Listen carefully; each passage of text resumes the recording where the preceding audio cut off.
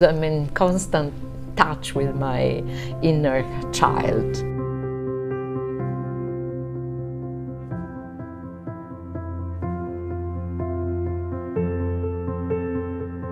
Tiziana, thank you so much for coming here today. I mean, I, you said we've met once before, which we did, but I have about, my memory is about as long as a hair on a mosquito's butt. Oh, that's good because you know what?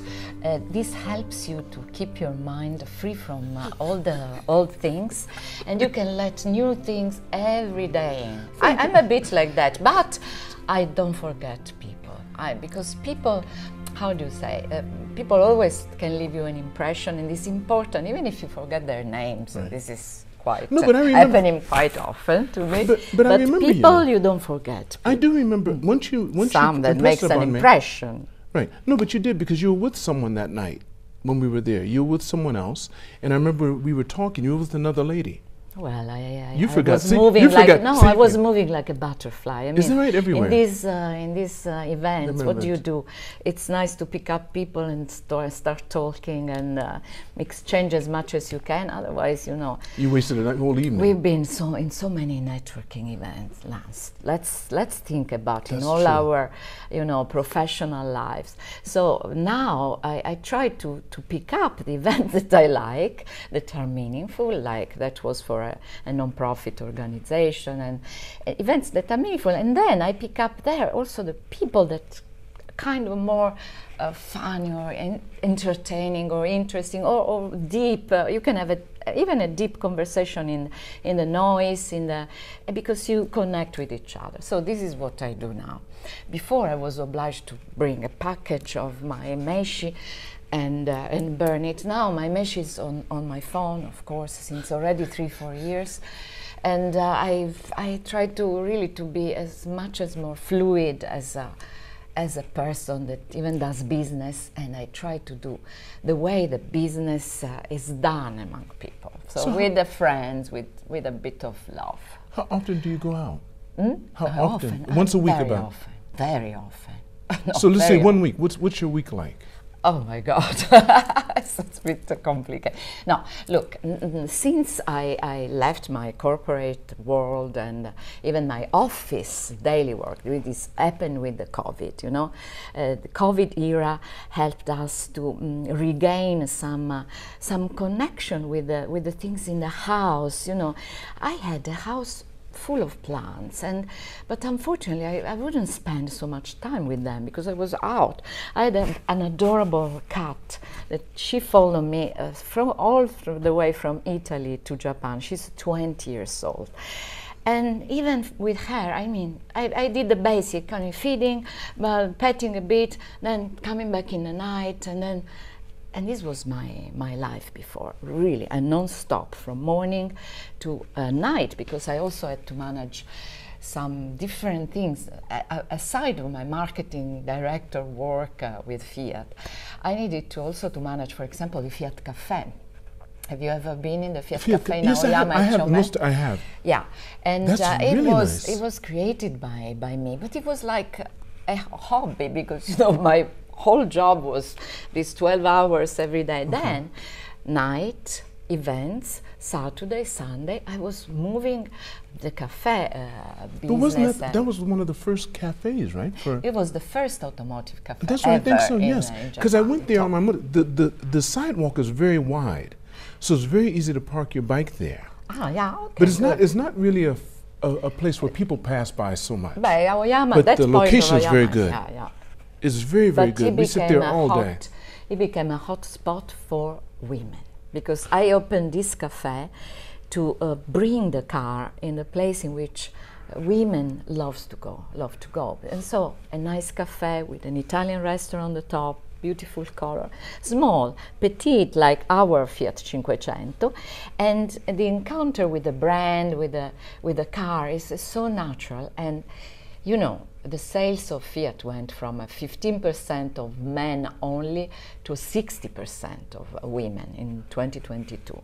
So my strategy was really to, to bring this product to the main uh, target and the main consumer that are women in Japan. Is that when know. Italy knighted you because of that? They gave you, they knighted you because of that, Uh, didn't they? Yes, it was in 2010, so I was Because of halfway, halfway on my job. But because uh, not only in terms of sales, of course, but in terms of connecting the, uh, the lifestyle of an Italian brands to uh, local communities, to local culture, and also to to brand Italy in a in a in a very special way. So this is what I did. And what was the, what was the award they gave you? The award knight- is a knight- of a uh, Knight of- Merit. Yes. of merit. Yeah. That's not very easily given out. Uh, not given out to women, especially. You're not the first woman, are you? No, no, no. Well, uh, not. Thanks God. But I'm one of the few. One of the few Yeah. that have gotten it. Yeah. So And what year was that? That was 20 what? 2010. Yes, it was 2010, 2010, but 20. I, I got in 2011 because after the earthquake. How yeah. did you feel when that happened? When you when you were Ah, awarded look, that? it was so. 'Cause you didn't it- expect it, was- did you? No, of course nobody always expect. But I, it was. I was happy and I was honored, of course. But also I was. Um, I had this uh, very very happy feeling inside me that the things I was. I was doing the things I was doing to brand my cars were not usual, were very much out of the box, and uh, you know to have a recognition for that, it's from an Italian government and from in an automotive sector that is very male-oriented business. I- it was nice for not only for me but for the women like me, Right. and for the creativity, for you know, for the a new type of marketing. So I was happy for for all what it was meaning. What was the mind process you went through in order to do that? You knew how men had already tried to advertise or promote the car. Look, what did you think that was different? I did marketing. Because you were for Nissan first? years. Yes, of yes, course. so many years, 33 years of Right. automotive. And I, I, I worked uh, in Italy and I was at the, ni- the 90s, you know, it was really still, the, the, the, the business was super male oriented. I mean, women were in a bit of higher position, only in the HR, PR, that's it. But, but still the back of the uh, house. Yeah, and, uh, and and but working hard, and I could see like uh, women really were moving the company, while men were fighting about their egos. You know, long meetings. When I moved to Japan, because when I moved to Japan, I was the boss. I was the marketing director, so I was literally I could. I could make an imprinting and finally change things. So But my meetings they were very that? short. But did they accept I- that? Because I was, I was a boss from my point of view, and the other, my my boss was only one, and thanks God, he was a Swedish guy, Okay. More open-minded, and we were the only. I mean, me, uh, him, and the CFO. We were the only three foreigners in an all Japanese. Uh, How many people were under you directly? I was directed at the time, like at the beginning, like 25, uh, 30. And you had no resistance at the beginning at all. You being a Of woman. Of course, I've been. I Well, that's what I'm asking. you. So you're making it sound like it was just a breeze because you were the top. what kind of resistance did you receive when you went there? Because I'm sure it was a mind. Even though you graduated, you got your ma- you got your master's here, right? Yeah, the Q- Kyushu Kyuda, University. Kyushu University. So you had the language under your belt. Yeah. You are also proficient in Kendo, so if they got physical with you, you could hand, you could take them out. I'm sure you kept your stick inside your office. But what kind of resistance? That, would, you'd go home and you'd go, ah! What kind of resistance did you get? okay, look. Um, first of all, uh, it's not about uh, language, but as you said, is being connected to the culture. And I've been very strongly connected to the Japanese culture. So I, I knew how to speak to people apart from my level of Japanese, you know, but to connect with people. So this helped me a lot because I I was moved by love for this culture, for this country. So when you're moved by love and not by by your ego because you want to prove something, you know, people respond to you in a very positive way, you know, and you have to convince your core team, your core members, and then then will spread uh, the voice towards the other. For example, I since the beginning, I, I, started calling my marketing loveting. Loving team. Yeah, That's right. You wrote that down right. Loving yeah. team. And, uh, and why? Because you know we we have so much love in our private lives. Uh, you know we are blessed with love and with many things, but when we enter in a corporation, we, we need to leave it aside and become, uh, you know, competitive, consider that everybody is your enemy. I don't know why is this process happening, but I saw it happening with so many people.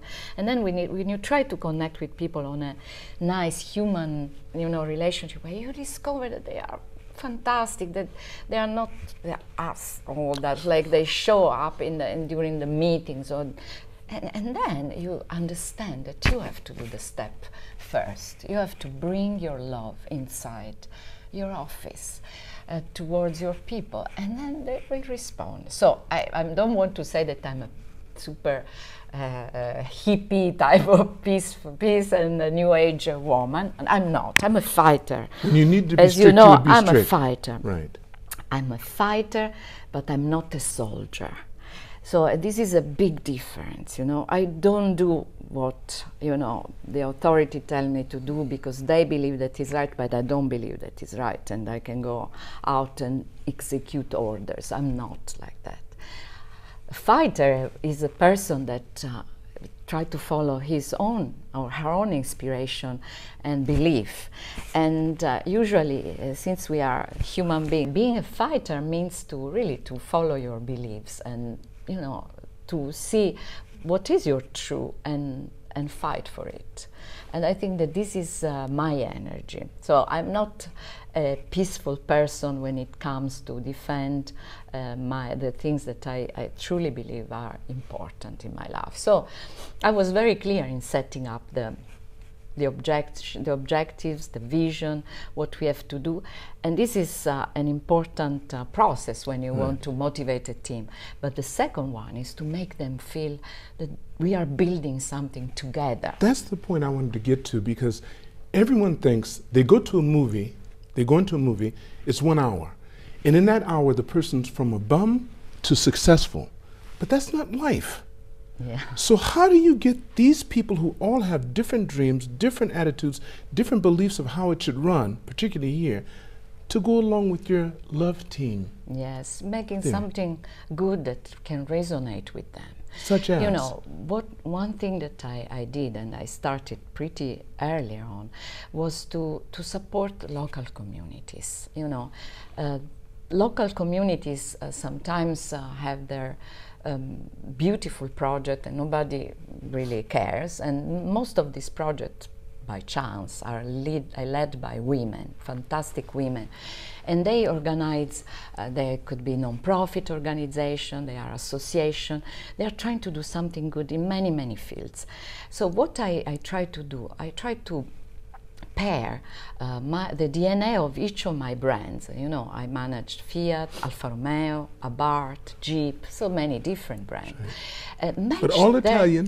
Yeah, no, Jeep is American. Jeep is that's the only thing that's American. Everything But now, now we have also the French brands all together. So we Oh, became really? Stellantis, yes, yes. Stellantis, Even okay. Peugeot and Citroën. Okay. It is a big family. What I wanted to say, the DNA of each brand, uh, I, I try to connect with a good cause.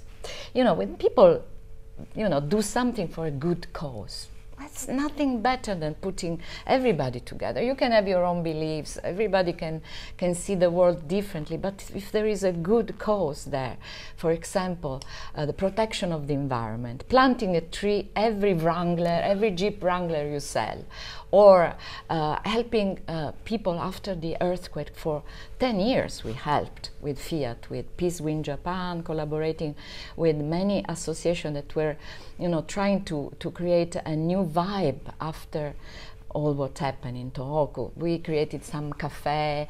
Uh, we, we did also so many crowdfunding projects uh, uh, to help the population there. But not only. Um, I mentioned that I wanted to attract and engage women. And one of the way was to really also um, support organizations that are doing empowerment for women, like uh, also organizations focused on education. Uh, we supported Room to Read actively, Asian University for Women, that are beautiful, uh, beautiful. Um, association that really want to give a new life to women education, pushing that to change the world because this is uh, the the objective that at the end all of us uh, right. we need to have.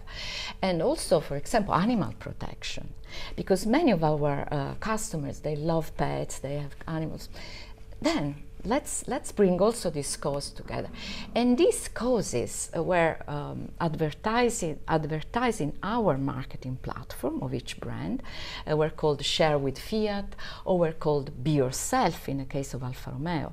You know, um, I was able to create for more than 10 years Alfa Romeo as the first automotive brand that supported LGBTQ actively. That was the we were, first one. Yeah, here, and I must say probably around the world because it was you- I what made you started? What made you decide because Alfa? Romeo has a strong identity. It's a Yes. very me brand, myself. So a brand like this should protect every other identities and should be the one the strength of, of being yourself and have a strong identity is to allow everybody to be yourself you know Is it still doing that? Does it still promote that? I, or I that, don't that think campaign is so. stopped? I don't think so because Okay. now the, the company changed a bit. uh, the platform, the communication platform changed, and but it was such a, a big thing because imagine, in uh, especially in a, in the LGBTQ community and awareness in Japan was very very low. In 2010 we started, uh, not uh, yesterday. I must say that someone in Italy even they didn't know what LGBTQ was meaning. Yes, I that's tell you true, the that's truth. true, That that's true, was the time. yes. So transparent, announcing to everybody that I was doing this with a, a very macho brand because Alfa Romeo in Europe is, is known to be a very vroom, vroom, vroom brand, you know, in the past. But the, the brand, the beauty of the brand is the you know is the design, the, the, the passion, the red, and all these uh, elements of identity were perfect to talk about inclusivity. And not only, we also helped people with uh, different abilities. We supported a fantastic uh, non-profit uh, of Shibuya uh, that really uh, helped to eliminate barriers in the city through the design. And, uh, and also Blind Soccer Association, because soccer is a, such an Italian thing, but there is a very strong team of blind, of non, yeah, blind people that play soccer here in Japan. You didn't know? And uh, we've been supporting also these fabulous people. And imagine the, the energy that you bring inside the company, uh, in your dealership. Because it's not just about the audience, you know. Uh, You, we were asking me how you made people uh, work for this and work for you and, uh, and, and follow this love-ting idea because it makes you feel good. Tiziana, I have to go into this thing because I like to, I want to know you a little bit more. Sure. Where were you born, first of all? I was born in a small city called Potenza. And how long did you live in Potenza? You know, what age? Potenza is one of those places. It's a lovely town in the in the heart of the south, and strangely enough, it's the coldest city in the south. And imagine, I love sun, I love, and I was born in a very cold, cold little city. But anyway, my sister also is a is a is a, a very very, how do you say, international woman. She's older than you?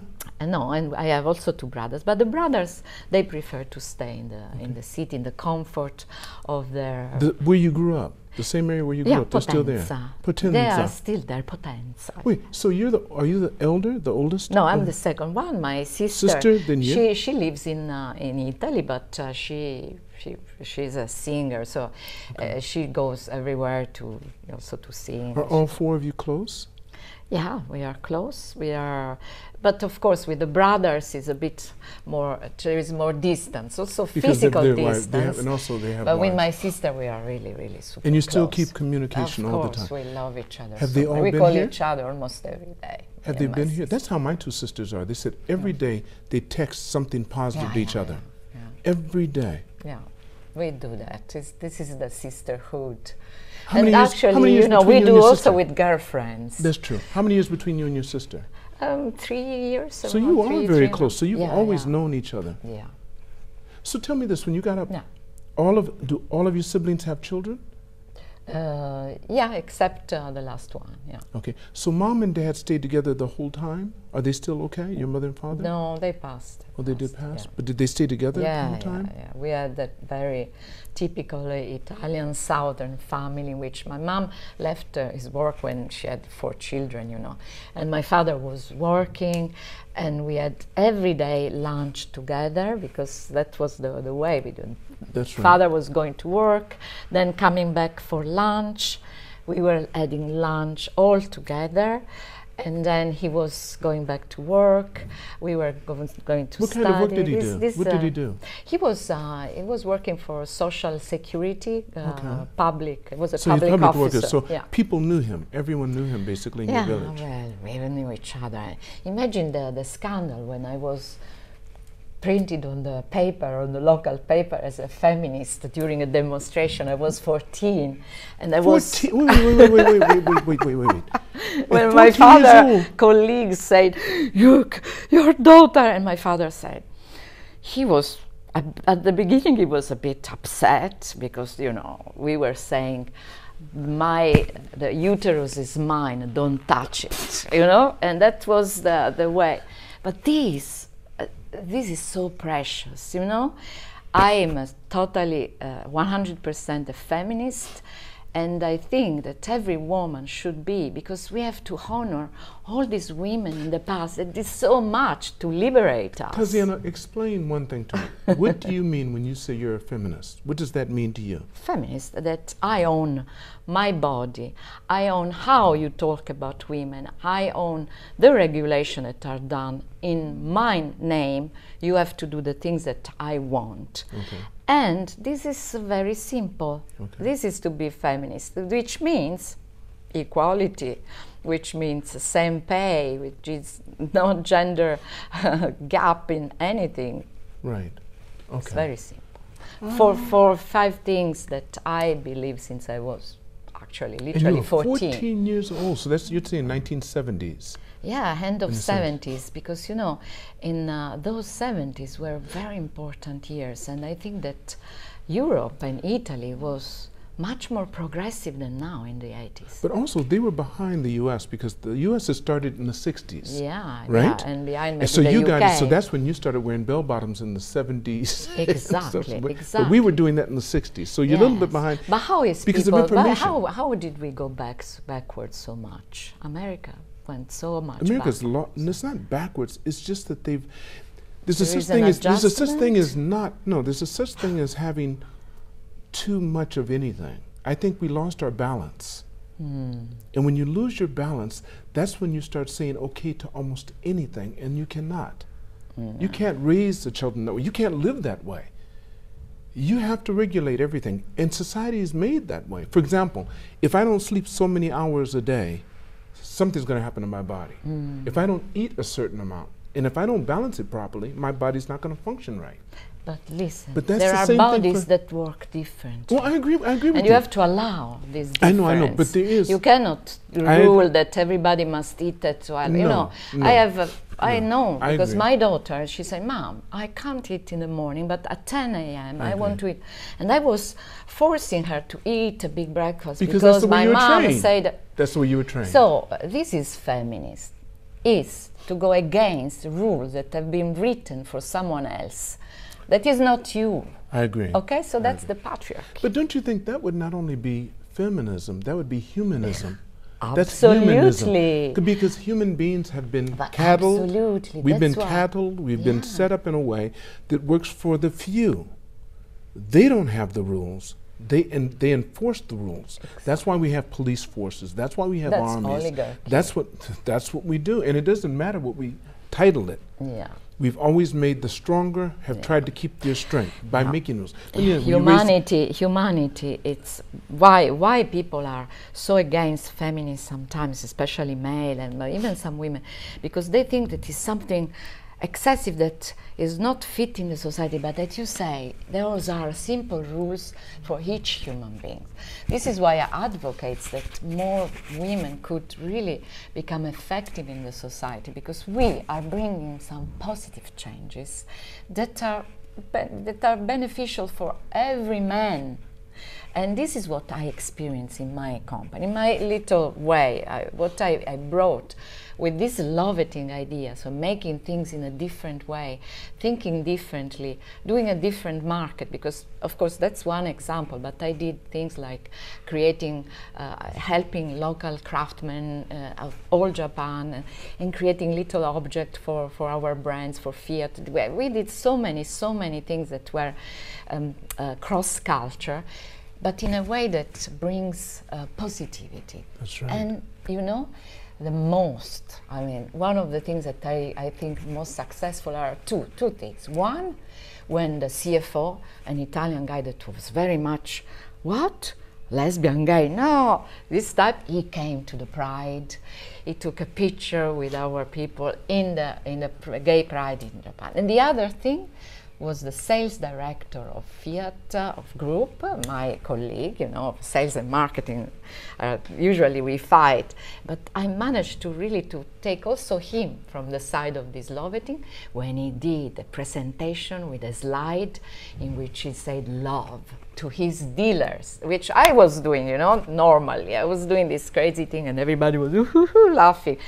But then this was the most you know rewarding moment. Do you ever come back home or to your quiet place and go, huh, you're just drained because you, yeah, you yeah. I lost all was telling energy? you what happened. You were talking, uh, mentioning my week. Okay, so I we, we started Yes. saying that uh, Okay. in the COVID, I understood how much I was losing about you know these feelings of being in your in your room with your cat, with your plants, taking care actively about that. And my garden, I mean, garden was a, is a balcony, but become just so beautiful. You know the During response. COVID, for those three years. Yeah, the response of, from the nature of being loved it's so immediate and my cat you know she became even more affectionate and and and you know so I started to change a lot my routine. You know, of course, during the COVID, you still were having these meetings, meetings, meetings. But I started to cook my meal again, my lunch. You know, and to find again the, the pleasure of cooking for friends, even during the weeks, not just that Sunday that you have time and then you can cook and you do it every month or two months or three months because you don't have time. No, cooking uh, almost every day for people come and let's have a dinner and and all this um, this change of life really inspired me to to leave uh, the corporate world because that So you was the left right after right after COVID. yes, You left. yes, yes, right after. Is last year I was it was my first year of really true freedom because 22 I still they asked me to stay as a consultant so I was bridging with the, the other marketing director. But then from last year I started this uh, new how do you say this new era of mine that I'm sure you resonate with it. I call it harvesting it's uh, the moment in which you, you work hard all your life. You, you, you planted many seeds, you know, like we do. We plant seeds. Some uh, goes well, some don't grow, but you know, this is our practice. And, uh, and then you arrive in my age. I, I wanted to celebrate my 60s out of the company, you know. And this is what I did actually.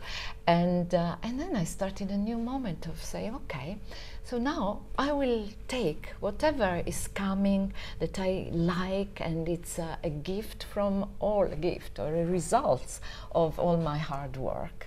And this is the harvesting moment, and I'm That's harvesting. Beautiful. I like that. and I'm So- telling to everybody. I so I'm that. Spreading this that. I love that. I philosophy of that. harvesting, because at some point you have to to see. Okay, so now life, what what what will happen? And this is so refreshing because you start anew, and you have also this moment of a little bit of anxiety. You say, okay, so now how where the money will come from? You know, because it's not that you as you say, we still in this longevity, longevity society. Yeah, that's why you have to prevent. To, you have to work in a way to leave your previous years in order to be uh, healthy, healthy, and you know, and strong for the years to come. So this is what uh, my philosophy is: to eat well, to to think positive, to have good friends, um, need good to have that. people, uh, to have good conversation, to keep you open to, to different things, uh, never close your mind, and doing yoga. This is also You do my thing. when did you start? I started many years ago, and then I stopped. But uh, during my liberation years, I managed to become also an instructor. So I did uh, Wait, wait, these wait, wait. 200 But I thought hours. You, you said uh, your new your new liberation years weren't they Well, just recent? liberation. Weren't they recent? yeah, I, last year I, I from last year I'm totally on my but in And that's when you started? 2022 2022 I started because And that's I had when you more got your time. and you Hmm? got your certificate then. Uh, yes, it took uh, one year. Yeah. yeah. Anyway, it's uh, it's What uh, about but? I What didn't start. I, I did yoga for many many years. Yes, uh, okay. It's just I just took the certificate. It was was just a kind of challenge, but I still studying. I I don't teach to. Well, I think that, that this, that yoga is like the martial arts. You never finish. Yeah. It's something you continually Yeah, do because yeah. it's a way of life. Yeah, unfortunately, I left kendo. I have uh, I'm I'm nidan uh, in kendo. When did you stop I kendo? started in Japan when I was a student. I know, but when did you stop? I stop. Uh, stop when I got pregnant. So um, and then I restarted again occasionally. When did you get? Okay, wait, wait. So you have one daughter, Yeah. How old is your daughter? Twenty-five. twenty-five. Yeah. So, were you married while you were in Japan, No, I married in uh, in Italy in Italy, Yeah. and you were married for how long? For you know, all in all ten years. Ten years. Mm. So your daughter speaks Italian and what else? And English. She's And English. British. She's half British. And she's living here in Japan. No, she didn't want to live here. Even if she loves Japan, she she felt a bit uh, this country not not yet open to really different people. She's she's a black girl. Okay, she And, can't be uh, totally black, but she's of color. Yeah, everybody everybody really wanted to touch her hair and she had this always her beautiful afro hair, always combed in a ponytail and I was seeing this little girl that you know she was so always very happy and very vocal with her hair doing this and I, I thought that she she might have gone through a moment in which you know being in a country in which everybody has straight hair she was she was really and shocked because everybody wanted to How old- touch her How hair. old, how old was she when she came here? Uh, six, six year, six year old. Okay, so you, your husband didn't come with you. No, no, no. We we separated just the year I, I then decided to come here. Okay, and you told me he's from where? He's British, but he's British. um, from Barbados. Barbados, Yeah, originally. Yeah. Oh, so then, so then you came over here with your daughter who's six years old, And my you, cats. and your cats, and you raised her by yourself. Oh, well, yeah, like many, many women do. So how many- Nothing special. Lance. How many years? How many years did she live here? Did she Uh, live she, she did all her schools here, so she, she graduated from 20? high school. here? You right? And yeah, she was uh, 18, and then she went to London to, to study, and she's there now. She's Well, she speaks. Japanese then, doesn't she? Yeah, she speaks. So she speaks three languages. You said mm. just Italian and English No, no, no, Italian, English, and Japanese. and Japanese. So she's fluent in all three.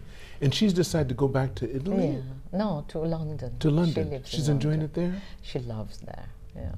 But she comes to visit you Yeah, often, right? we I go there, and she comes here, of course. She comes to see her cat. Mostly. That's her cat. no, I mean, it's What kind of what kind of work is she doing? What her she, sister. What, what field did she go into?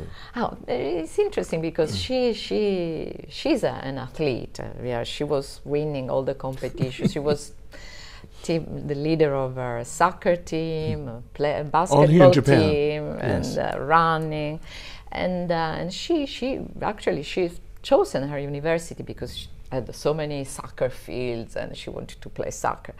And then you know, talking about diversity and racism and, and so on, she was um, one. She's she was actually one of the few black girls and people in the university in London. I mean, imagine the melting pot of the Wait, wait, society. wait. Yeah, She's one yeah. of the few in the in the yeah, in university that in London. university, yeah. It's uh, strangely enough, you, you must say that, you know, London is such a mixed country, which is, but, Mm-hmm. But in some some area, economically, totally white, economically is what they did. very white and very unfortunately quite racist, I must say. Anyway, so basically, uh, she started to play soccer actually, she was really fantastic. I, I saw her not so many times. I'm a bad mother for this, but I, when I want to see her playing, and she was playing, the ball was moving around her body, not not even the foot. So she was really good. Anyway, just to make it short, the girls, all white girls of the, the, the team, they started excluding her because she didn't go out drinking with them every other night. And she couldn't drink. I mean, she, she was. She wasn't interested. Yeah. Uh, she couldn't really. She Okay. she has. Couldn't she metabolize it well. Okay. Doesn't now she's starting to drink a bit because you know the society there is really alcoholic. Oh my god. Anyway, You don't drink? so I, I drink a glass of bit, wine, but you uh, don't a glass of sake, um, but not uh, not every Right. But uh, when I'm enjoying with, uh, course, with many events I have to attend. Sometimes you, you it happens that you drink even two three glasses. Uh, I I try not to, So anyway, so but she I enjoy I enjoy drinking. Right, right. So how is she doing now? So she she started these things because she wanted to play soccer. She she studied sports science, and she graduated in sports science. But she also took a business uh, management course on the same time. And at the end, uh, she ended up in doing her own uh, type of sports. She left the soccer team because they punished her for that. So imagine being a young uh, kid, and and then COVID happened. She spent all her university time in COVID, in half lockdown in the UK. So she had a very tough, uh, tough time.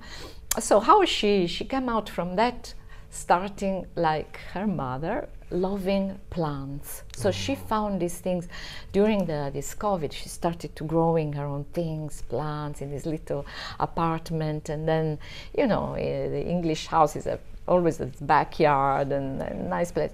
And then she, she now she's working in um, plants uh, mm, consulting and doing uh, lots of, of things, but really also physically taking care of uh, plants in uh, she in Richmond. Oh, that is so, So beautiful. you know things are getting. You never plan. You can never plan what you will become. That's you know. true. That's true. But she started as a, a soccer player uh, enthusiast. you should say something to her right there. To my daughter, but Yeah, she will never watch this. She's a gonna watch it. No, You'll find no, out. she doesn't. She doesn't. She'll watch. it. She'll see what you she doesn't. You'll be surprised. She's one of, of those young people that now they are discon- trying to disconnect from the social media as much as they can. They don't post. That's this is she'll watch your podcast. I'm sure she will. She wants to know what mommy's doing because all of us do. All of us always. I, I like But you know, we are so much in, connection. We are so connected that Oh, that's she beautiful. doesn't need to listen. We, we have cut the bullshit, me and my daughter, That's beautiful. a lot. You used to have some know. bullshit. You guys used to have bullshit. Like what? every every parents have bullshit. I was uh, I was always uh, pushing her, as I say, to eat in Oh, an I order. see, I see, I see. I mean, uh, southern mothers, especially, they have this bullshit, you know, to Well, you to follow that, and then taught to to be to cover yourself because it's too cold. We believe in this cold uh, stroke that are coming from you. know, we uh, southern Italian. Here I am. I didn't lose all my stereotypes. Maybe stereotypes, yes.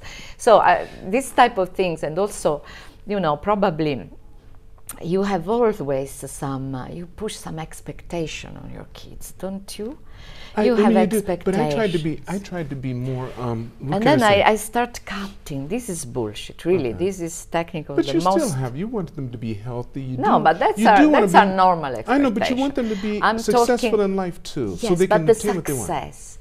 Uh, the, the type of success we are looking at is, is what we learned that is to be successful, you know. And, and now it's different. And uh, young people, the new generation, they see uh, success or they see happiness or they see, you know, um, fulfillment in a different way than we did. So, you know, it's not nothing really worse than putting your beliefs about success on the back of your kids you know? So i stopped that, That is so absolutely. And this is also a big learning from period like uh, covid because i'm also very passionate about mental health and i'm uh, on the board of director of TELL the the Yes. only uh, English lifeline active since 50 years That's here in. Japan, as you know. I had the I had the chairman on. Yeah, yeah. so uh, basically, uh, TELL uh, it was also a great experience because I started well before COVID to, to help and to support, but during uh, COVID and also managing uh, the, the the, the anxiety of, of even my daughter in uh, during this period. It was really uh, uh, important to have this background of, of knowledge on how to listen to to people's problem, and, uh, and this changed me a lot also in uh, in my relationship with my daughter, in uh, in not uh, putting on her my you know the things that I believe, and, and the beautiful things, you know what is it, is that then you see in your daughter that she will pick up only the beautiful things of yourself, which is great. I mean, if you can succeed in having someone from your sharing your DNA that will pick up something good of you and rejecting the the, the, the worst, The, the human it's part. great. Uh, but we, well, it's all human, but the what you negative part, you know, the bullshit part and the,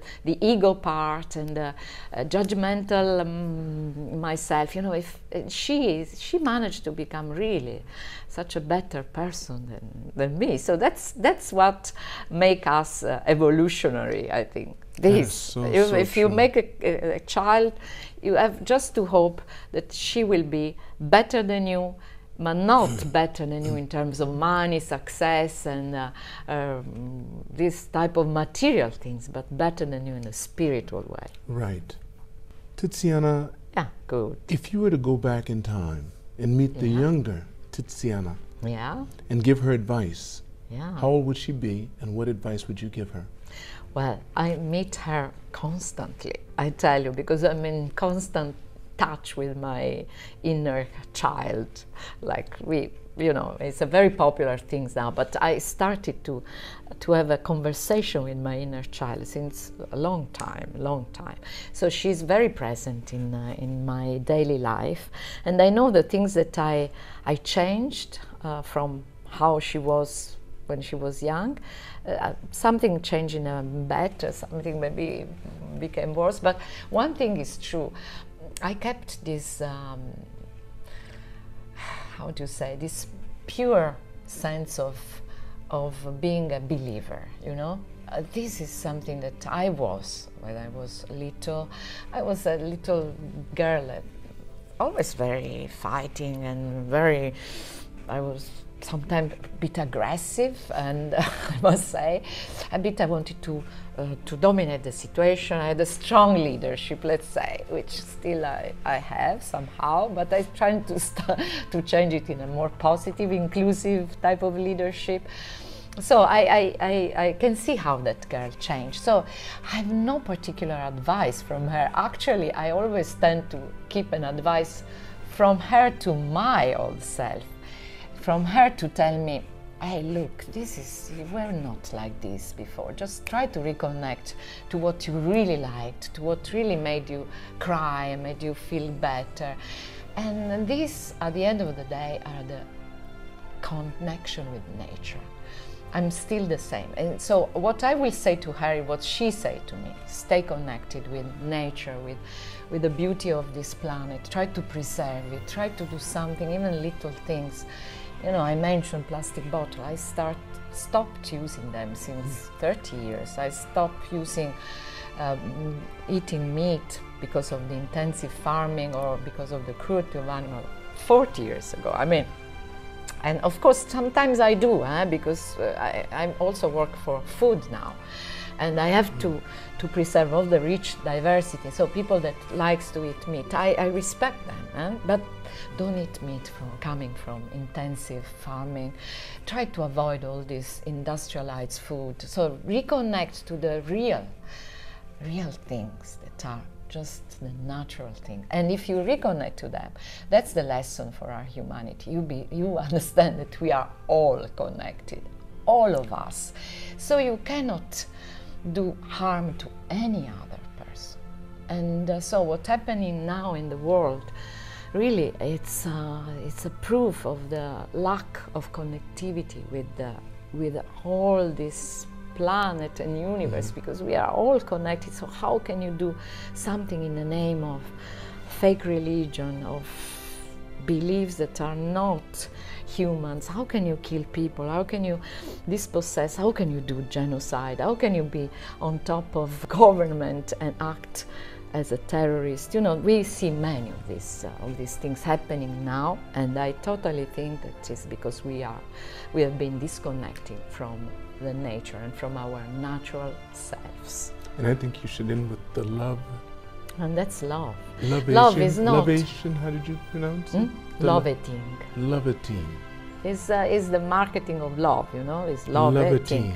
But uh, actually, it's the power of the universal power of love. When I say love, it's not uh, uh, heart and blah, blah, blah, blah, love, love, love. No, love is a strong feeling. is is strong and also is passionate. It's something that moves your energy.